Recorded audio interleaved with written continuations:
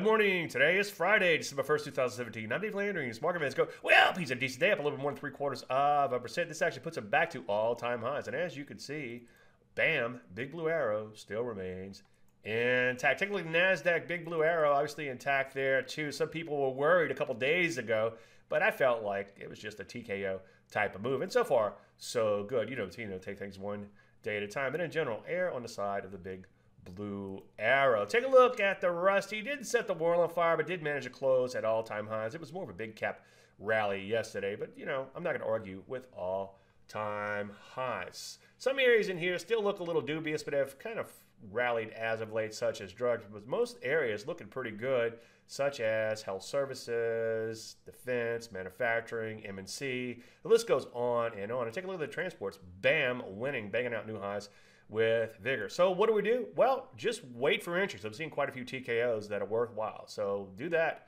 trade that, and wait for entries. Any questions, as usual, Dave, DaveLandry.com. I'm Dave Landry, and you start the market.